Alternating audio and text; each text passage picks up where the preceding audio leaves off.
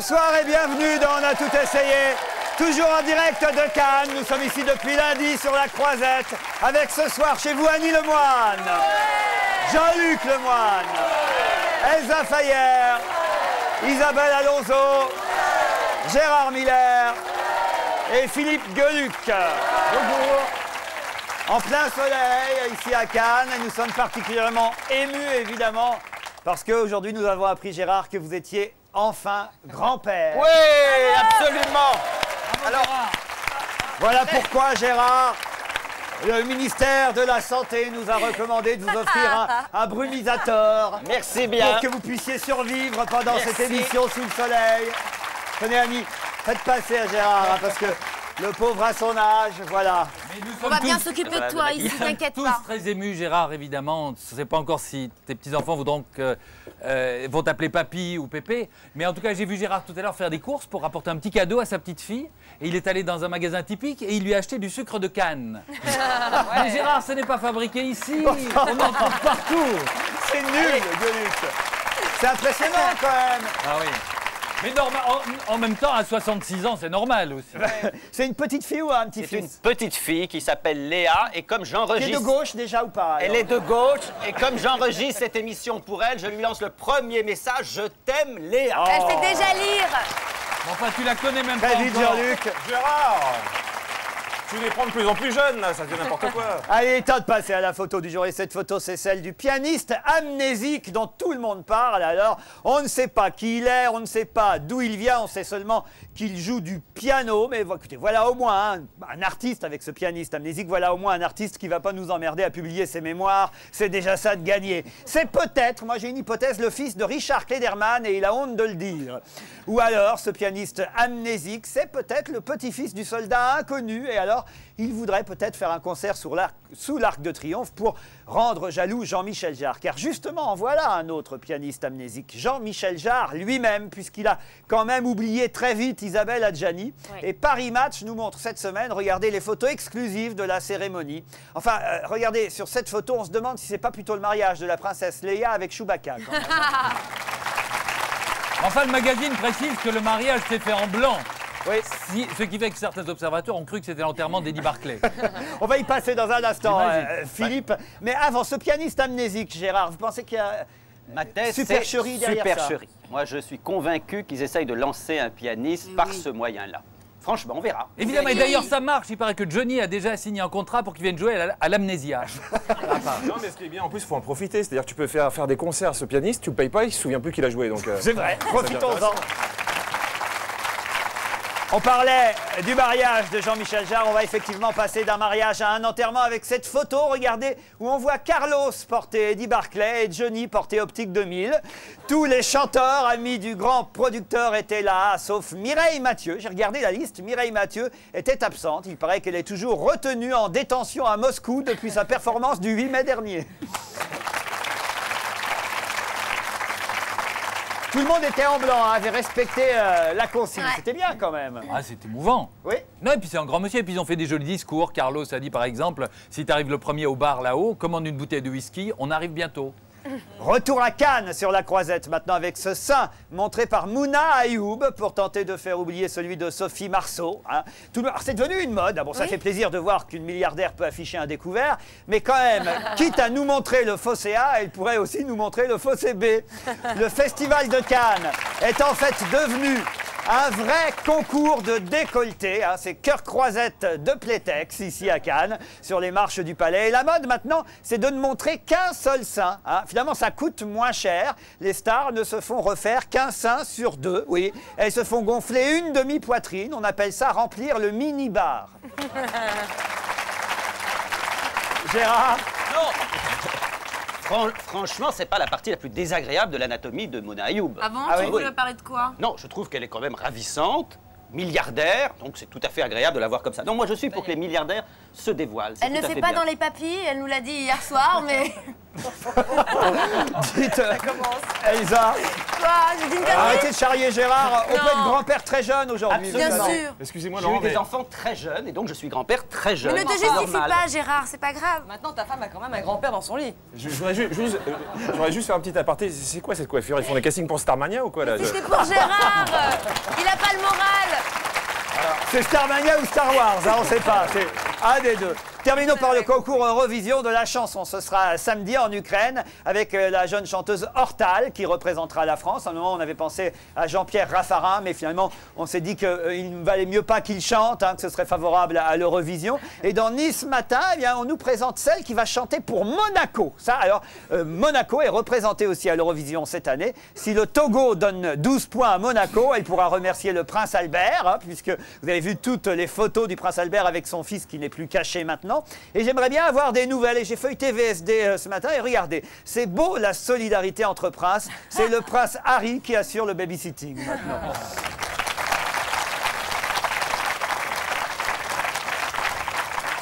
C'est une belle histoire, celle du prince Albert. Écoutez, pour l'instant, il en sort grandi. La seule chose que tout le monde se demande, c'est pourquoi cette affaire est-elle sortie maintenant, juste pendant une période de deuil où le prince Albert ne peut pas communiquer. C'est quand même un tout petit peu gênant, malgré Ah bah, un enfant en noir vaut mieux sortir dans une période de deuil quand même. euh. Isabelle, Je sais pas, il, attend, il ça ne vous a rien inspiré les photos hein, ce soir Bah si, mais je vois que tout le monde a des tas de trucs à dire. Moi. euh, C'est quand on n'a rien à dire, il vaut mieux fermer sa gueule. Voilà, c'est ça. Exactement. Connaissant de la graine.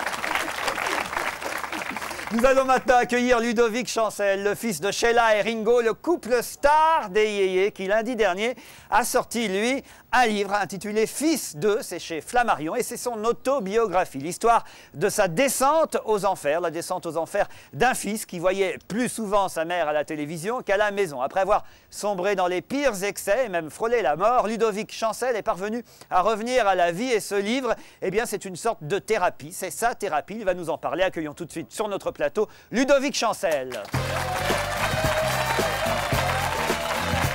Fils de chez Flammarion.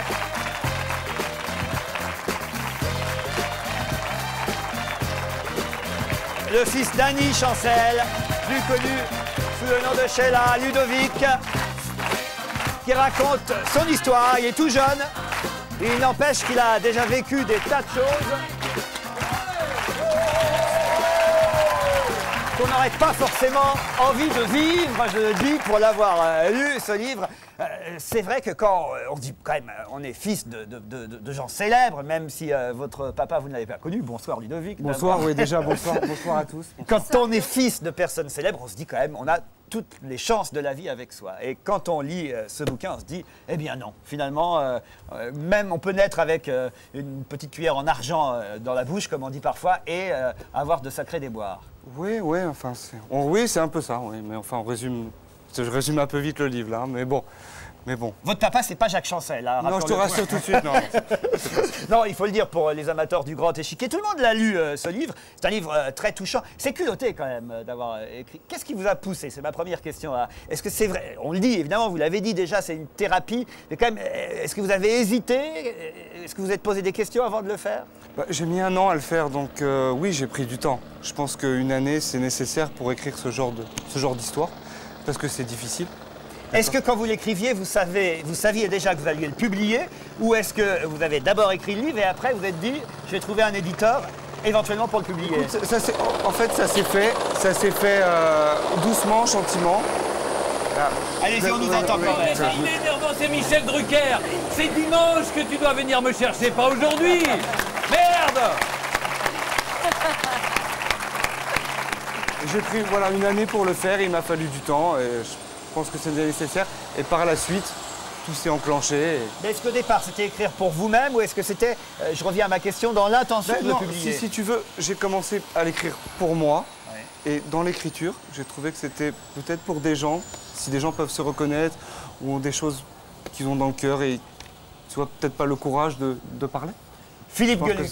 Laurent Ruquier, vous m'avez évidemment, comme je vous connais, grillé ma vanne du début. Néanmoins, pour les gens qui prendraient l'antenne, Chancel, Ah, les- pour oui, les gens qui prendraient, qui prendraient l'antenne maintenant, je vais dire ce que je voulais vous dire. J'ai fait une découverte en lisant votre livre. J'ignorais totalement que votre père Jacques Chancel s'était d'abord fait connaître comme chanteur sous le nom de Ringo avant d'épouser votre mère, euh, euh, Sheila Chancel. Non, votre livre, je le trouve bouleversant parce que vo- votre livre, votre vie n'est qu'un long cri. Maman, regarde-moi, j'existe. Maman, prends-moi dans tes bras. Ce qu'elle fait finalement à l'âge de 30 ans. Pour vous, vous avez 30 ans, elle vous prend dans vos bras et vous dites enfin. Je voulais vous poser une question. Ce soir, est-ce que vous savez si elle vous regarde, si elle nous regarde? Oui, je pense qu'elle doit nous regarder ce soir, ouais.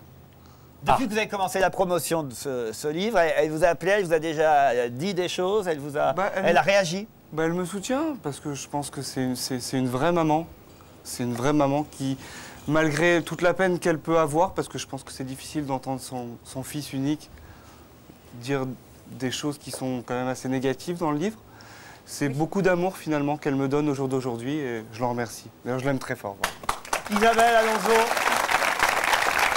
Moi, ce livre, ce livre m'a secoué parce que vous racontez quand même des choses incroyables à tel point que vous racontez par exemple que vous êtes euh, que vous avez pris de la drogue etc or les drogués les alcooliques en général racontent souvent euh, euh, je fais du mal à tout le monde j'embête tout le monde et c'est un peu ce que vous faites. Vous, vous pleurez un petit peu pendant toutes les pages. Et moi j'ai été prise par le doute. Est-ce que c'est vraiment vrai tout ce qu'il raconte et en particulier j'ai trouvé quelques invraisemblances. Alors je vais vous en livrer une vous allez me dire comment ça se passe. À la page 225 vous cherchez à vous suicider. Vous vous mettez tout nu en haut du pont du périphérique et vous allez sauter dans le vide. Qui à ce moment-là. Qui n'a pas fait ça? Bon.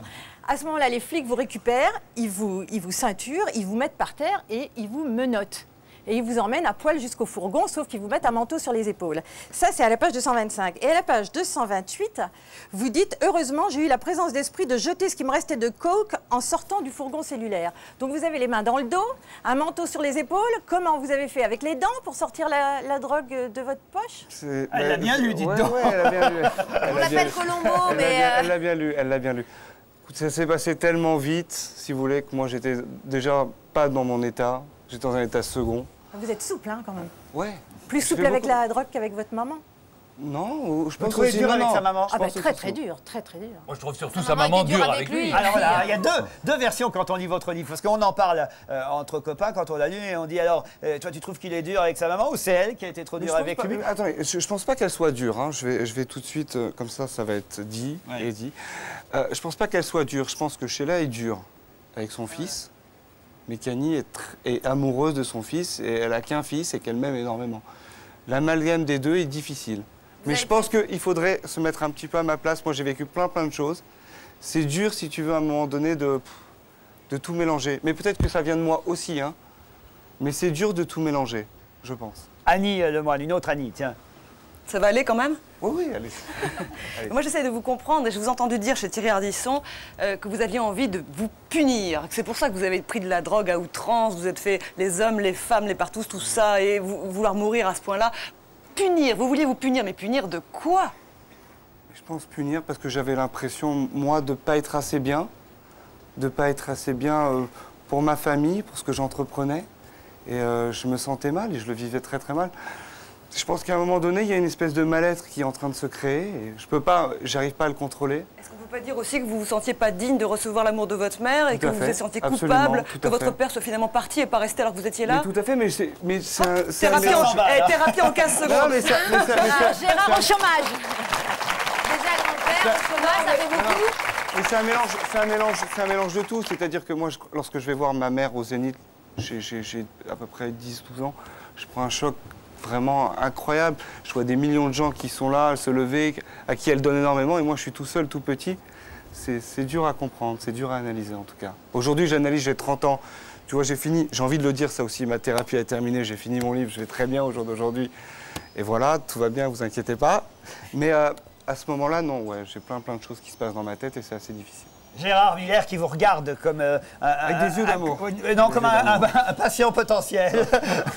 Gérard. Tout, tout au long de votre livre, vous semblez dire que votre mère aurait eu à faire le choix son enfant ou sa carrière et qu'elle a plutôt choisi sa carrière. Il se trouve, c'est un hasard sans doute, que les quatre chanteurs les plus emblématiques des années 60, c'est-à-dire Richard Anthony, Sheila, Sylvie Vartan, Françoise Hardy, on connaît leurs enfants. Et il se trouve que deux, manifestement, vous et le fils de Richard Anthony ont l'air d'avoir des difficultés et que deux, le fils de Françoise Hardy et de Dutronc, Thomas, et le fils de Hallyday et de Vartan ont l'air d'aller bien.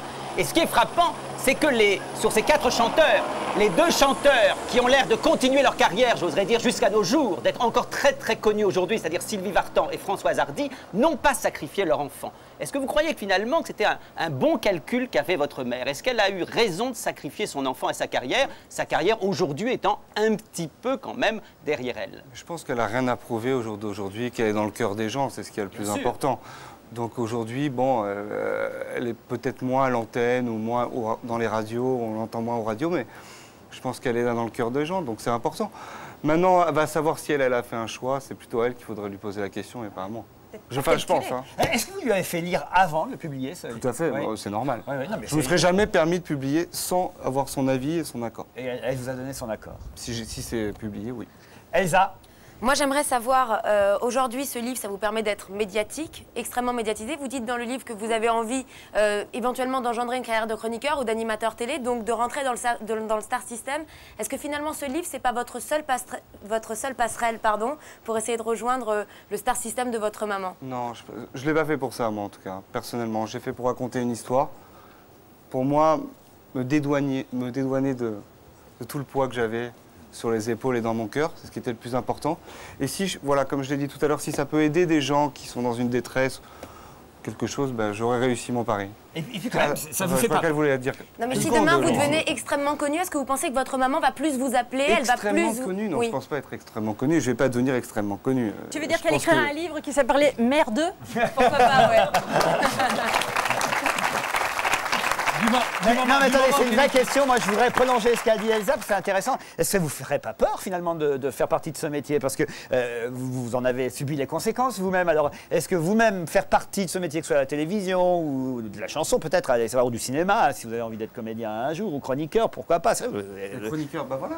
je fais la saison la- l'année prochaine. vrai, à ma place alors. Non mais sérieusement, euh, voilà, c'est, finalement c'est ce qu'a fait votre maman. Est-ce que, que ce serait pas euh, euh, recommencer euh, Je sais pas, non, moi j'ai pas cette impression en tout Non. cas. Non. Ça vous fait pas peur Non, pas du tout. Parfait. Bien Ludovic, on peut vous poser, avec toute la sympathie qu'on a pour vous, on peut quand même maintenant, mais vraiment une vraie sympathie je quand sais on lit votre je le livre. sens, je ressens la On peut quand sympathie même autant. vous poser la question qui fâche. Moi, la seule chose qui m'ennuie dans tout ce récit, la seule, c'est qu'en lisant ça, j'ai appris, et je ne me serais pas permis de le dire si vous ne le racontiez pas vous-même, que vous aviez aujourd'hui vous-même un enfant. Et donc toute la question est de savoir si tout ce que vous avez subi, et peu importe de savoir si c'était la faute de votre mère ou pas, est-ce que vous risquez pas de le faire subir de nouveau à cet enfant et comment vous allez assumer le fait d'être père, vous qui avez eu un père absolument absent? Je pense que dans la vie, on ne reproduit pas exactement les mêmes schémas quand on y est préparé. Euh, moi, j'ai envie de m'occuper de mon enfant, c'est ce qui est le plus important dans ma vie. Le reste est secondaire, Mais vous le faites? Absolument. Jean-Luc Lemoine. Euh, moi déjà, je voudrais remercier mes parents de ne pas être connus. Euh, voilà, donc ça, ça c'est fait. Euh, quand on lit le bouquin, la première chose, c'est on se dit, on est content que vous soyez encore vivant parce que vous êtes passé euh, pas, loin quand même de, la fin. Et, euh, c'est vrai que enfant, vous avez dû faire face à la terrible rumeur comme quoi Sheila était un homme. Et il paraît que votre mère, pour vous prouver le contraire, vous a fourni une cassette de l'enregistrement de votre naissance, de l'accouchement. Est-ce que vous pouvez me la prêter Parce que ça, ça se vend bien sur Internet, je voudrais savoir. Je vais pas garder. C'est un très mauvais souvenir. hein, Ouais, ça, un mauvais souvenir. Justement, est-ce que c'est, ça a été, je vous redonne la parole tout de suite, Jean-Luc, est-ce que ça a été plus, plus difficile d'écrire euh, ce livre que d'en parler encore? Parce que ça, c'est une autre épreuve, je trouve, d'en parler sur les plateaux quand même. Non, parce que euh, le fait d'être franc dans le livre, je me permets de venir ici, d'être tout à fait franc avec vous. Et vraiment, c'est une, vraiment une page qui s'est tournée. Donc Au ça, jour ça vous pose pas de problème aujourd'hui. Non, mais en même temps, c'est très bizarre parce que je trouve que la violence qu'il y a dans le livre, on ne la retrouve pas du tout dans les propos que vous tenez sur le plateau. Je trouve ça une charge, euh, que- que- comme quelque chose que j'avais jamais vu. Moi, j'ai lu ce livre que- presque. Enfin, je- chez là, là-dedans, c'était la méchante reine dans Blanche-Neige. Et puis là, et puis, et puis j'ai vu ça. Et Ça, il y a maintenant, différentes Pas visions. et maintenant sur le Pas du plateau, tout, pas du tout. sur le plateau, j'ai le sentiment que vous la défendez. du tout. Ce qui est normal, c'est Mais votre maman, vous l'aimez. Mais hein, ce je que vous dites dans le livre est absolument Ah, euh, invraisemblable. Je trouve pas du tout, je trouve pas du tout qu'il accable euh, sa mère, pas du tout. Ça raconte juste un lent et long suicide, c'est tout. Elle est, elle est adorable. Un long malentendu. Annie Lemoine. Annie Lemoine. Les Annie sont adorables, vous savez. Ah oui, je vous réconcilie. Jean-Luc. Euh, là, il est en train de conclure, je vais le laisser faire. Non, vous avez. Dans le livre, vous expliquez que vous avez tout fait, notamment, bon, vous, euh, des soirées où vous vous tapiez cinq personnes dans la soirée, ça tout le monde l'a fait, mais euh, d'autres- choses, c'est-à-dire des euh, objets sexuels dans des boîtes gays, la prostitution et tout. Comment on annonce ça à ses, ses proches? Est-ce qu'à la fin du repas, vous, faites, vous dites, tiens, au fait, j'ai oublié de te dire, comment ils ont reçu ça? Parce que là, maintenant, ils le savent, mais la première Mais fois... l'ont- ils l'ont su avant. Je ne me serais pas permis d'écrire un, li- un livre aussi vrai si je n'avais pas demandé des autorisations avant. Je ne me serais pas permis de le faire dans le dos des personnes que j'aime. Dernière question, est-ce que vous l'avez envoyé à votre papa? Non. Non. Est-ce que vous savez s'il l'a lu? En tout cas, ça va pas, ça va pas relancer sa carrière. Ça va pas relancer sa carrière, je vous le dis. Est-ce que vous avez, est-ce que vous avez envie de savoir s'il l'a lu? Non. Ah, c'est une autre question, ça. C'est euh, non. Voilà, vous, en bah, fout- je- vous en foutez. Non, je m'en. je- Oui, enfin, Là, oui, oui, je m'en fous. Non, mais vraiment, non, mais vraiment, sincèrement, Non, mais sincèrement, oui. c'est une affaire oubliée. Oui, voilà. Pour lui, c'est une affaire oubliée. Voilà, le livre, il est fermé. Tandis que votre maman, c'est euh, peut-être une réconciliation et une vie commune future. Oui, mais c'est oui, mais pour le futur, j'ai pas de doute. Bon. c'est pas un Eh problème. bien, écoutez, tant mieux, on vous le souhaite. Ça s'appelle Fils 2, c'est signé Ludovic Chancel. Et c'est chez Flammarion. Merci, Ludovic. Merci beaucoup. Merci.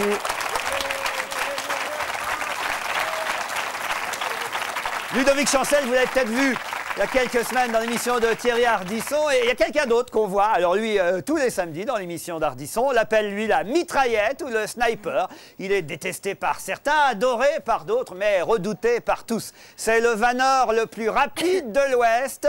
C'est celui qui a le mot qui fait mouche à chaque fois. Il s'appelle Laurent, euh, Laurent Baffy, pardon. le 13... Je pouvais pas, eh, franchement. Je ne l'aurais pas fait. Je ne l'aurais pas fait, j'aurais été un con et, lui l'aurait fait. Le 13 mai dernier, il a sorti Tu l'as dit, Baffy, aux éditions du Cherche Midi, un recueil de ses meilleurs mots lancés face aux invités du plateau de Tout le monde en parle. En attendant un DVD des meilleurs déplacements et port de verre d'eau par Méline, accueillons tout de suite Laurent Baffy.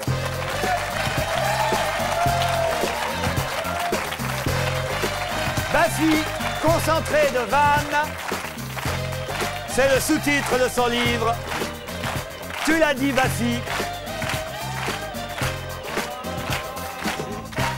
Il monte les marches, non pas du palais des festivals, ça pourrait lui arriver un jour.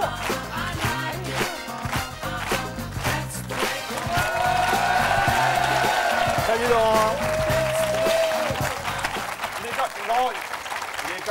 Étrange. On lui met deux superbes jeunes filles, il fait tout pour les semer, je comprends pas là. Il marchait Il pas assez vite. Voilà. Concentré de vannes au Cherche Midi, tu l'as dit, euh, Baffy, bonjour euh, Laurent. Alors voilà, hein, ne nous cachons pas, ce sont des, des- des phrases euh, que vous avez prononcées dans l'émission d'Ardisson. Des phrases que. vous- Est-ce que vous les écrivez? Tiens, c'est une première question qu'on peut poser. Avant d'a- d'arriver sur le plateau, est-ce que vous avez déjà une idée de ce que vous allez balancer Pas aux invités? tout. Pas du tout, jamais. Et si j'avais une idée, euh, euh, je serais très malheureux parce que je pourrais pas les balancer parce qu'il faut. et D'abord, euh, il peut arriver aussi parfois qu'on ait une très bonne vanne mais qu'on n'ait pas le temps de la placer. Ouais. Et, euh, et puis, euh, ni la possibilité. Donc, non, non, je travaille pas et c'est bien mieux comme ça. C'est Thierry qui fait les fiches. Moi, j'arrive, je mets les pieds sous la table Et ça sort comme ça. et ça sort ou ça ne sort pas parce que là, c'est. C'est des, des- des réussites. Oui, vous mais pouvez je pas faire pas un livre de celles qui sont pas échecs. sorties. Voilà. Là, là, en tout cas, c'est vous avez fait une petite sélection, un petit best-of de. euh, Est-ce que euh, c'est celles qui vous ont le plus fait marrer ou celles qui peut-être euh, ont le plus embarrassé aussi parfois l'invité qui se trouvait en face de vous? Non, c'est celle qui était. euh, parce qu'au au départ, le postulat de départ n'était pas évident, je ne savais pas si ça allait marcher, et il a fallu essayer, et euh, tout le monde s'accordait à dire que, que- que ça le faisait. Et, et puis, il y a des vannes qui sont euh, parfois visuelles, euh, graphiques, faut voir le costume de la personne, donc on a, on a- on a viré tout ce qui, ne, ce qui ne passait pas à la lecture. En il faut que ça passe à l'écrit. Tu l'as dit, euh, Baffy, Gérard Miller, vous commencez? Bah, J'étais surpris parce que j'ai lu le livre cet après-midi et j'ai ri à haute voix. C'est le qui problème m'arrive avec ce livre. extrêmement rarement en lisant des livres. Ça m'arrive parfois avec des grands auteurs comme Feydeau. Donc ça, c'est le premier point qui est réussi. Et le deuxième point, c'est que je trouve important de dire quelque chose aux gens qui connaissent bien Laurent Baffy, c'est que dans la vie, c'est souvent commenté par ceux qui le connaissent même mieux que moi, c'est un garçon extrêmement gentil. Non seulement c'est un garçon extrêmement gentil, bon père, bon copain, mais en plus c'est quelqu'un de plutôt traqueur, j'allais même dire de plutôt trouillard. Exact. Et je vais donc te poser une question directe. Si tu avais été plus courageux, Oui. est-ce que tu crois que tu aurais été moins drôle Moins drôle, je ne sais pas, mais si j'avais été plus courageux, j'aurais fait du one-man depuis euh, 20 ans maintenant. Et vous allez en faire un, c'est vrai? Je vais en faire un parce que euh, je ne veux pas mourir sans le faire et, Bon, j'espère qu'il me reste encore un petit peu de temps. Ah, j'ai mon hélico, je vais être obligé de vous laisser. Parce que ça coûte la peau du cul. Non, c'est. C'est d'autres animateurs télé Ah, qui vont faire du one man. Est-ce que ça, est-ce que ça, ça vous fait parculer l'échéance? On sait qu'il y a Arthur, il y a, il y a Coé qui vont faire du one man. Ah, show. Aussi? Non, je ne sais pas, Ouais, ouais, Coé. ouais. Alors justement, est-ce que vous vous dites pas oh là là Eh d'un seul coup écoutez, je suis très content que vous me posiez cette question. Euh, non, non, mais moi, j'ai pas de date. Eux, ils ont des dates, ils ont programmé, on voit des affiches. Moi, je vais, euh, je vais le faire quand je m'en sentirai prêt. Et euh, je, je dis que je vais le faire, ça se trouve, je le ferai jamais. Parce que pour, pour l'instant, c'est pas assez en écriture. Et puis, j'écris beaucoup plus lentement pour moi que pour les autres. Donc, on Annie. verra. Ouais, moi aussi j'ai ri, on s'est échangé des, des vannes avec euh, Gueluc en lisant ce qu'il y avait dedans. Bon, Bravo, bravo Laurent, c'est vraiment drôle. Euh, c'est souvent ton réservoir, c'est souvent le, le cul, pardonne-moi, Je suis assez grave, le... mais pas toujours. mais pas toujours, non. Il peut m'arriver de faire des, des vannes finaudes. Eh ouais, vous avez reçu avec Thierry euh, MC Jean Gabin. Thierry Ardisson dit- lui demande Vous croyez en Dieu? MC Jean Gabin répond pas du tout. Ardisson dit pourquoi? Et vous vous dites Parce qu'il est jamais venu au parloir. C'est vrai qu'il a fait 6 ans de tôle, il a fait 6 ans de tôle et, et voilà. Euh, le problème de ces vannes qui sont très très drôles, dès qu'on les lit, c'est ça retombe. Surtout par le Non, moi. parce que c'est pas, pas bien Oui. dit, c'est pas bien dit, mais. Surtout par. Voilà, ça c'est du Bafi par exemple. Eh, Laurent, justement, là on voit, faites attention. C'est vrai qu'il a raison. Quand on prend des extraits euh, de bouquins, c'est très dur à vendre en télé. Et je vois que là, vous avez pris des leçons de communication quand il s'agit de faire de la promo. Vous n'allez pas nous dire ce bouquin c'est de la merde, ne le lisez pas. Non, je pourrais pas vous dire ça parce que ce bouquin est. est- Vous avez fait est- ça avec votre film, vous le regrettez d'avoir fait Pas ça du tout, pas Non une seconde. Je suis très fier d'avoir mis N'y allez pas, c'est une merde. Et je pense que, ce sera le de seul vous film écouter. de l'histoire du cinéma sur lequel euh, qu'il y aura cette, cette affiche-là. Et je pense que. Si vous l'aviez mieux vendu, les gens ils seraient peut-être. Non, c'était pas une question de mieux vendre. Ce film, pas ce film est sorti avec, entre Kill Bill, Le Seigneur des Anneaux et, et- et Nemo. Et, et- Et ce, et film, était formidable. Merci, et j'en veux beaucoup à tous les gens qui ne sont pas allés le voir. Et je ne peux que leur recommander de l'acheter en DVD. C'est un film extrêmement drôle et c'est un vrai Merci bon beaucoup. film. Tu l'as pas dit au bon moment, mais c'est Mais bien non, mais je, je l'ai vu plus tard. Mais alors moi, je- pareil. Pareil, j'ai ri, j'ai ri de- en, en lisant votre livre. Je suis bafien depuis euh, très longtemps. Je trouve que déjà, quand il écrit dans l'avant-propos, quand on me demande d'où me vient mon sens de la répartie, je ne sais jamais quoi répondre. C'est déjà très fort. Bon, ça fait rire personne, mais moi, je trouve ça. Il faut le Mais- lire dans sa tête, ce livre. en revanche, en revanche, j'ai un petit reproche à vous faire. C'est que ce livre que vous signez de votre seul nom n'est pas que de vous. Il y a les répliques d'Ardisson, les répliques des invités. Et si on les enlève, il reste que vos chutes. Et si on lit vos chutes les unes après les autres, c'est Et il a quel âge Stéphano Il y avait chanteur aussi. Il va bien finir par partir quand même. Il serait ravi surtout. Et ça, vraiment, c'est pathétique, Laurent. Voilà. L'anti-promo, c'est lui qui l'a fait ce soir. Non, parce que ce qui est vraiment uniquement, ce qui est uniquement de vous là-dedans, ça tient pas la route. Je sais bien, j'en ai conscience, c'est la raison pour laquelle j'ai mis la réplique d'Ardisson et, Et tous vous, les avez, invités. vous avez eu bien raison. Bravo, c'est un livre Merci. formidable. C'est le ping-pong. Jean-Luc Lemoyne, roi du ping-pong lui-même. Euh, bah, je, je pense que là, Laurent est parti, donc euh, c'est réglé. Ah, Deux et- secondes, je te les range. Ah, le soleil. Ah oui, oui.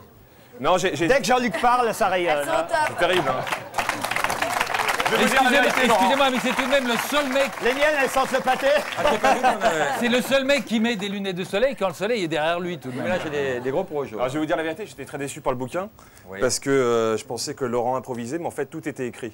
Tout était écrit. Là où il est balèze, c'est que euh, même les invités ont appris leur texte et ça, je dis bravo. Euh, sinon, c'est euh, c'est vrai que Laurent, c'est un mec qui me fait énormément rire. Et je me suis rendu compte de l'ampleur qu'il avait pris l'année dernière au Québec, parce qu'il faut savoir que tout le monde en parle, a été décliné au Québec, et les Québécois étaient comme des fous, ils ne cherchaient pas un sniper, ils cherchaient un Bafi. Qu'est-ce que ça te fait d'être devenu un nom commun? Bah, ça, ça me flatte, et ce qui me flatte encore plus, c'est la difficulté qu'ont les gens à trouver un Bafi. Parce que je sais qu'ils ne sont, pas- enfin, euh, vraiment arrivés, et, et ça, ça me flatte beaucoup. Si j'étais euh, euh, clonable, ça me foutrait un peu les, les boules, oui. Isabelle Alonso. Alors, vous jouez volontiers les bons garçons, comme disait Gérard tout à l'heure.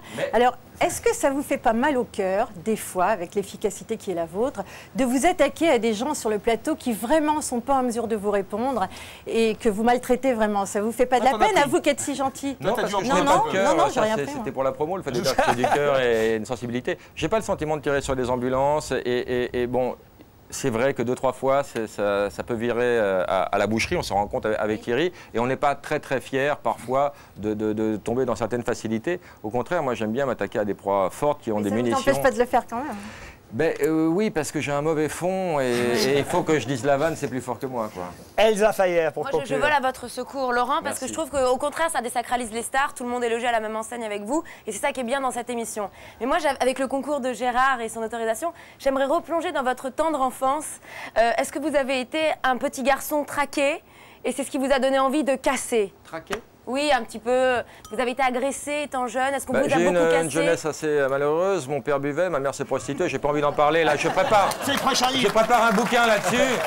Et je préfère revenir quand il sera prêt, quoi. Concentré de vannes, tu l'as dit, Bafi, c'est au Cherche Midi. Tiens, les feuilles s'envolent. J'en ai un autre livre euh, à vous présenter. Celui-là, je l'ai déjà présenté. Tiens, oui, là, ça, c'est euh, le fils de, Ludo- le, le fils de Sheila, justement, Pendant que vous Ludovic le Chancel. cherchez, on peut juste rappeler qu'il est, il est grand aussi pour avoir un jour dit aux frères Bogdanov, dont on connaît Ouais. bien le physique, qu'ils étaient nés à Menton. Non, l'autre livre que je voudrais montrer, c'est au Trouve Minuit. hein. Le vôtre est au Cherche Midi, celui-ci est au Trouve Minuit. Ça s'appelle Tu l'as dit Brigitte et c'est signé Brigitte et elle va venir nous en parler sur ce plateau. Brigitte.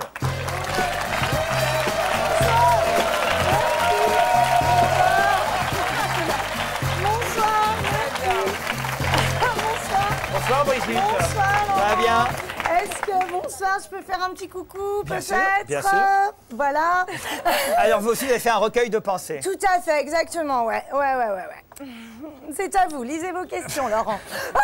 C'est tout ce que vous avez comme réponse. Oui, tout à fait, Ben, c'est ça qu'il faut que vous donc, disiez. donc vous venez sur le plateau pour, euh, comment on pourrait dire, promouvoir Non, je viens pas promouvoir, je viens pour vous voir. Oh, ça commence bien déjà, bravo.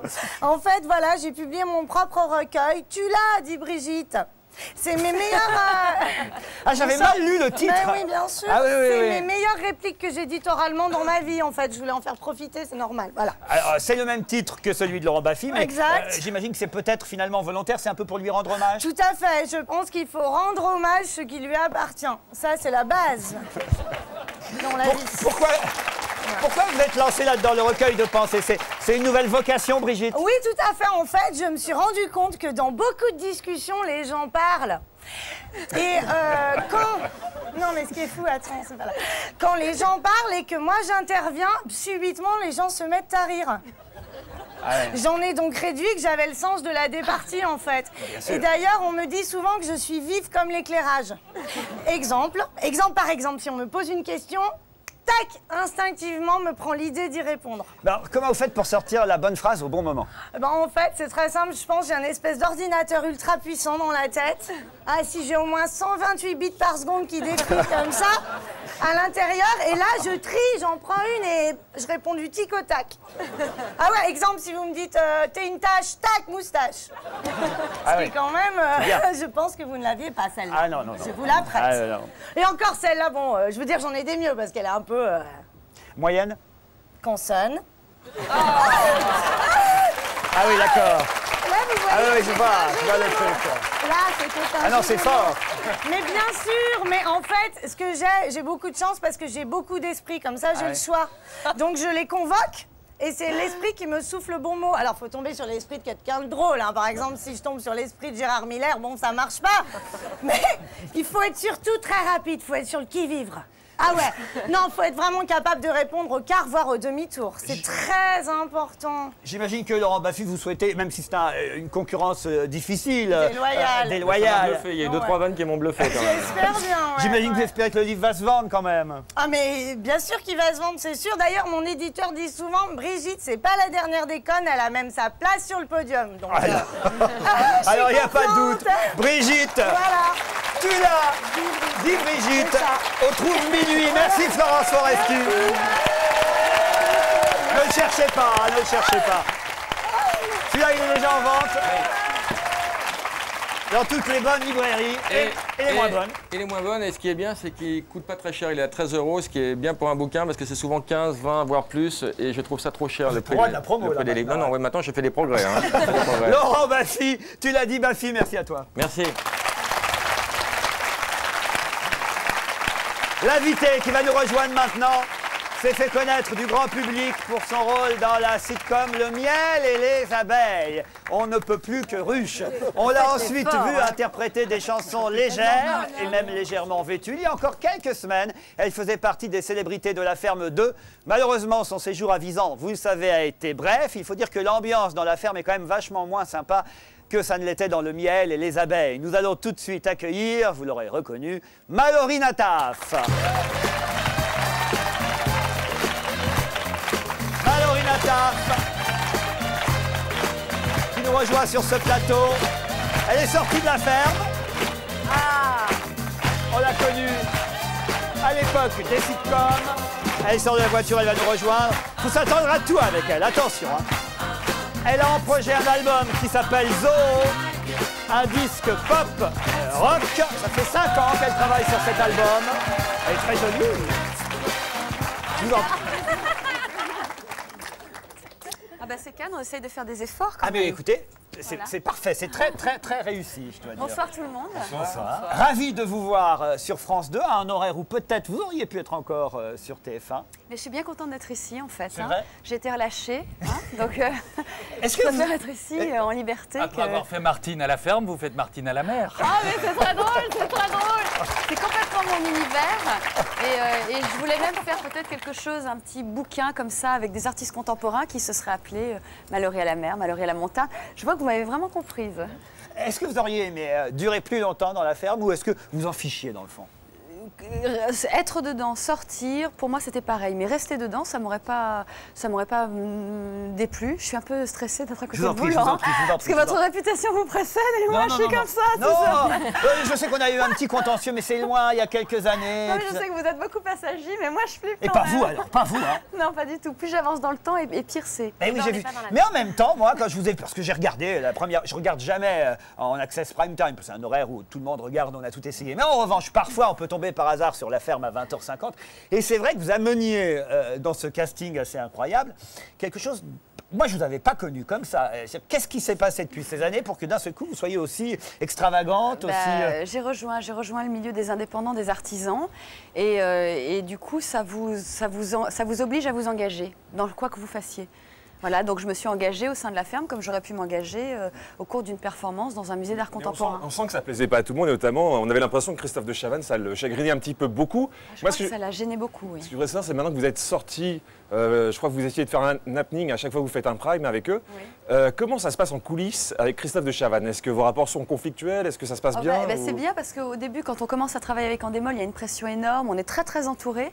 Et plus j'avance dans le programme, et moins il y a de pression, et moi je les vois. Donc euh, Je vous laisse euh, faire euh, ce que vous voulez. Vous allez être sur les prochains primes? Oui, oui, il y en a encore euh, huit. Je- J'escompte bien faire Ils quelques vous ont petits- pas non plus jeté du prime. Non, parce que ça se passe plutôt très bien. Ils sont assez surpris, un peu décontenancés, mais finalement, euh, je suis pas non plus acide ni méchante. Hein. Je, je suis pas, pas ma personnalité, donc je, je les attaque pas. Je constate quand même que ce programme est un petit peu basé sur l'humiliation et que je, je vois pas pourquoi on a besoin de divertir les, les spectateurs de cette façon-là. On a d'ailleurs appris aujourd'hui que, faute d'audience euh, suffisante, ils avaient un peu changé euh, le règlement et que désormais ils allaient euh, dire, dénoncer à chaque candidat euh, de la ferme qui euh, avait voté contre eux. Qui a balancé Qui a balancé, ce qui est nouveau dans la télé-réalité, on- parce que on pour l'instant, On, a fait un petit pas en avant là. C'était mystérieux. Là, c'est vraiment, alors genre, on va foutre la merde, quoi. Voilà, bah, c'est ce que j'ai découvert parce que c'est vrai qu'en tant que spectateur lambda, moi j'adore la télé-réalité depuis des années, tout simplement parce que de voir, en l'occurrence là c'était des célébrités, mais voir des people euh, euh, à l'image euh, ou, voir des inconnus plutôt, parce que moi j'aimais beaucoup striptease ou des programmes comme ça, et je me disais enfin on, on rend, comme c'est quand même, vous le savez très bien, Laurent, un métier assez fermé, et on donne l'opportunité, c'était Warhol, un quart d'heure de célébrité pour chacun, et ça c'est un concept qui me plaît plutôt. Mais en fait de le vivre de l'intérieur, c'est très très différent, parce que le, le fondement de, de ce type de programme, c'est quand même la cruauté.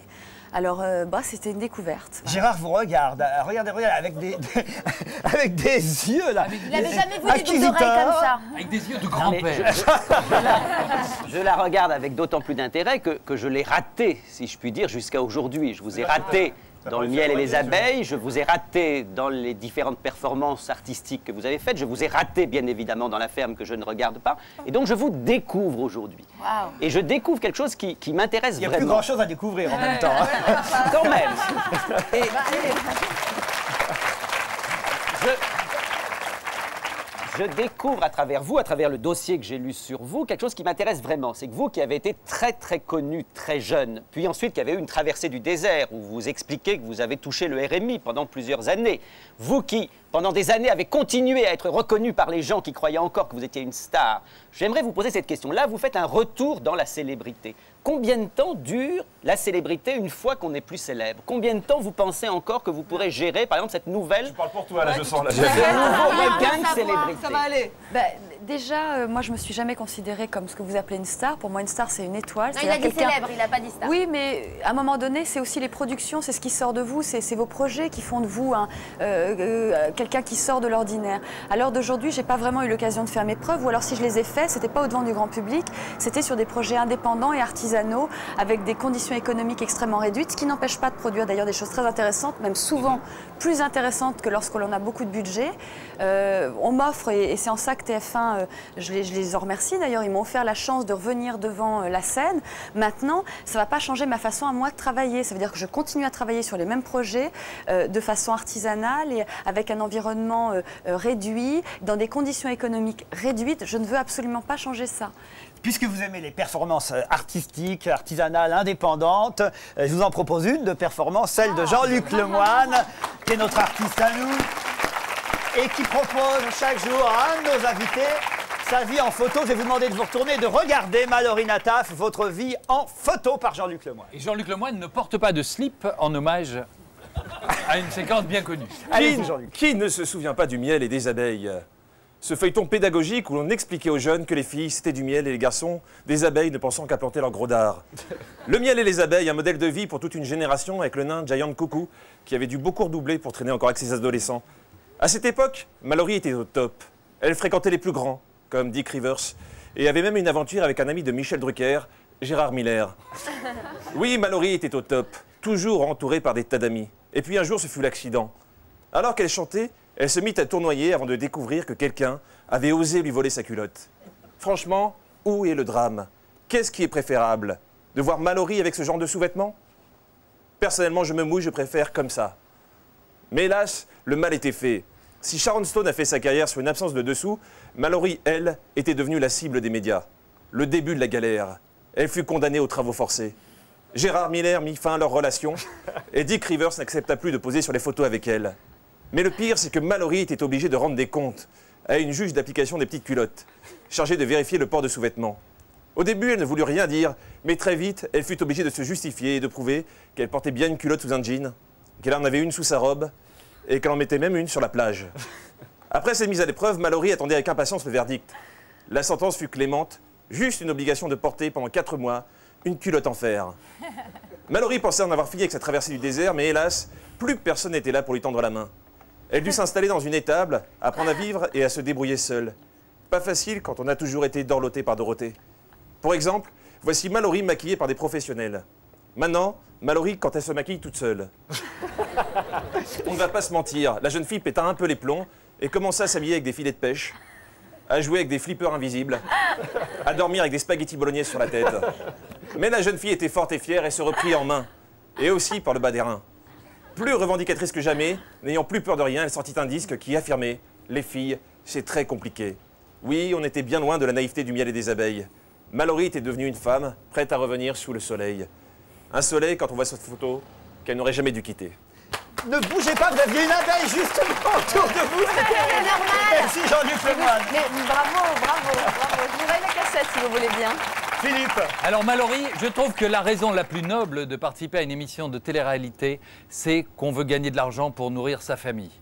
La raison la plus noble de quitter une émission de télé-réalité, c'est qu'on veut emmerder la production. Bravo, vous avez fait les deux. Elsa Fayer. Alors, je suis pas du tout d'accord avec toi, Jean-Luc.